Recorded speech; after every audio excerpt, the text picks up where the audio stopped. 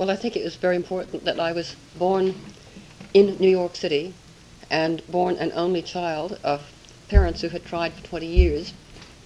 And I was stubborn then and stubborn now, and I lasted the full nine months. But this also meant that I was horribly overprotected.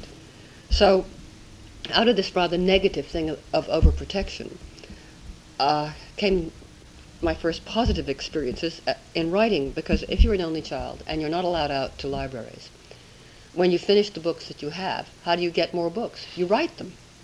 So uh, I wrote my first story when I was five. It was about a little G-R-U-L because I couldn't spell.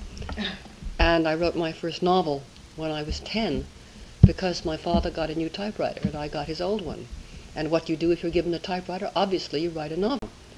The one thing that is very, very important for a writer of fiction is memory. You may not forget what it was like to be 6 or 12 or 14 or 27 or whatever